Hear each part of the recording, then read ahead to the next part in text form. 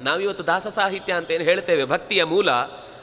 ಆ ಪುರಂದರದಾಸರನ್ನು ಕಂಡಿ ಕರ್ನಾಟಕ ಸಂಗೀತದ ಪಿತಾಮಹ ಅಂತ ಹೇಳ್ತೇವೆ. ಅವರಿಗೂ ಮೂಲ ಪ್ರೇರಣೆಯಿಂದ ನಮಗೆ ಸಿಗುವುದು. ಅದರ ಹಿಂದೆ ಹಿಂದೆ ಹೋದರೆ ವಸ್ತುತಃ ಎಲ್ಲ ಯತಿಗಳಿಂದ ಹುಟ್ಟಿದ ಸಾಹಿತ್ಯ ಅದು. ಕರ್ನಾಟಕ ಸಂಗೀತ ಅಂತ ಅನ್ನೋದು ಅವರಿಗೆ ಮೂಲದಲ್ಲಿ ನರಹರಿ ತೀರ್ಥರು.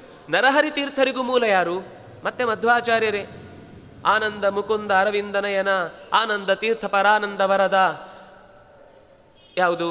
ಅಕ್ಷಯಂ ಕರ್ಮ ಯಸ್ಮಿನ್ ಪರೇ ಸ್ವರ್ಪಿತಂ, ಪ್ರಕ್ಷಯಂ ಯಾಂತಿ ದುಃಖಾನಿಯನ್ನಾಮತಃ ಅಕ್ಷರೋ ಯೋಜನ ಸರ್ವದೈವಾಮೃತಃ, ಕುಕ್ಷಿಗಂ ಯಸ್ಯ ವಿಶ್ವಂ ಸದಾಜಾದಿಕಂ ಎರಡನೇ ಅಕ್ಷರ ಪ್ರಾಸ ಬರುತ್ತಲ್ವಾ?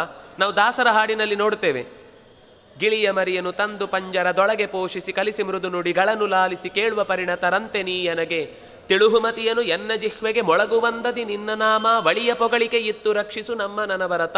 ಅಳಾಳಾಳಾಳ ಅಂತ ಎರಡನೇ ಅಕ್ಷರ ಬಂತಲ್ವಾ? ಅದನ್ನು ಮೊದಲು ಪ್ರಯೋಗ ಮಾಡಿದವರು ಮಧ್ವಾಚಾರ್ಯರು. ಅಲ್ಲಿಯ ತನಕ ಪೂರ್ವದಲ್ಲಿ ಜಯದೇವನ ಸಂಗೀತ ಪದ್ಧತಿ ಅಂತ ಇದ್ದದ್ದು ಬಿಟ್ಟರೆ ಕರ್ನಾಟಕ ಸಾಹಿತ್ಯ ಸಂಗೀತ ಅಂತ ಒಂದು ಇರಲೇ ಇಲ್ಲ. ಕರ್ನಾಟಕದಲ್ಲೇ ಹುಟ್ಟಿ. ಅದಕ್ಕೆ ಅವರು ಹೇಳಿದ್ದಲ್ಲಿ.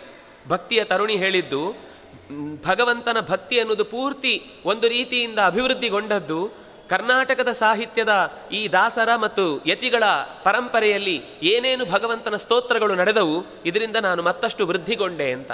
ಹಾಗಾಗಿ ಮಧ್ವಾಚಾರ್ಯರು ನಿಜವಾಗಿ ಕರ್ನಾಟಕ ಸಂಗೀತದ ಪ್ರಪಿತಾಮಹ.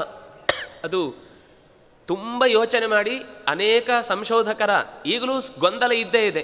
ಕೊನೆಗೆ ಏನು ಮಾಡಿದ್ದಾರೆ ಅಂದರೆ ನಮ್ಮ ಕರ್ನಾಟಕದವರು ಸಂಗೀತ ಕಲಿಯುವುದು ಮರ್ತು ಮರ್ತು ಕರ್ಣಂ ಪ್ರತಿ ಸುಂದರ ಮಠತಿ ಕಿವಿಗೆ ಕೇಳಲಿಕ್ಕೆ ಚೆನ್ನಾಗಿರುತ್ತೆ ಅದನ್ನ ಇದಕ್ಕೆ ಕರ್ನಾಟಕ ಅಂತ ಹೇಳಿದ್ದು. ಅದು ಕರ್ನಾಟಕದಲ್ಲ ಅಂತ ಪುಸ್ತಕಗಳು ಪೂರ ಪ್ರಿಂಟ್ ಆಗಿ ಇವತ್ತು ಜನರ ಮಧ್ಯದಲ್ಲಿ ಓಡಾಡ್ತಾ ಇದೆ. ನಾವು ಅಷ್ಟು ನಿರಭಿಮಾನಿಗಳು. ನಮಗೆ ಭಾಷೆ ಮೇಲೆ ಪ್ರೀತಿ ಇಲ್ಲ, ನೀರಿನ ಮೇಲೆ ಪ್ರೀತಿ ಇಲ್ಲ, ನಮ್ಮ ಸಾಹಿತ್ಯದ ಮೇಲೆ ಪ್ರೀತಿ ಇಲ್ಲ, ಸಂಗೀತದ ಮೇಲೆ ಪ್ರೀತಿ ಇಲ್ಲ, ನಾವೆಲ್ಲ ಕಳ್ಕೊಳ್ತಾ ಇದ್ದೇವೆ. ಆದರೆ ವಸ್ತುತಃ ಮೂಲ ಕೊಟ್ಟದ್ದು ನಮಗೆ ಮಾಹಾತ್ಮ್ಯವೂ ಹೇಳುವಂತೆ ಕರ್ನಾಟಕ ಅನ್ನೋದು ಭಕ್ತಿಗೆ ಬಹಳ ಎತ್ತರದ ಸ್ಥಾನವನ್ನು ಕಲ್ಪಿಸಿಕೊಟ್ಟಿದೆ ಅಂತ.